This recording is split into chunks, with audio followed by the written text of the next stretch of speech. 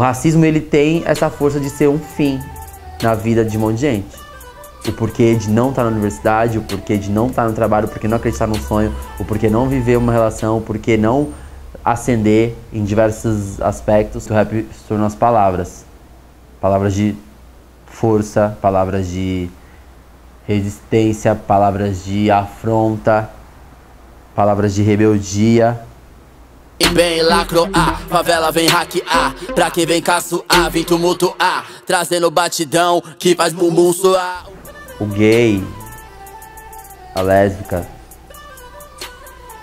o corpo trans de periferia, ele ainda recebe uma outra colocação, que é a margem da margem. Só que pra mim sempre foi muito claro o poder que o hip hop tem de transformar narrativas.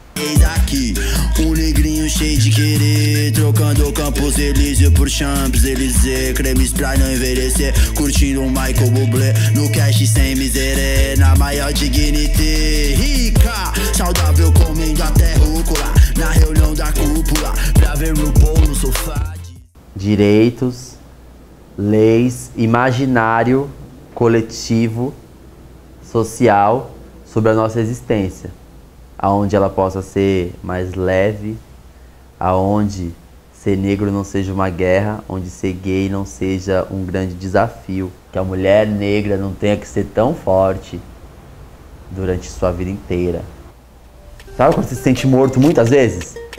Só que aí você vai ver sua carne, ela se tornou mais resistente. Acho que a soma disso é ou é derrotismo ou é petulância. E eu me identifico com petulância. Procure o que é sorrir assim no dicionário. Procure o que é sorrir assim no dicionário.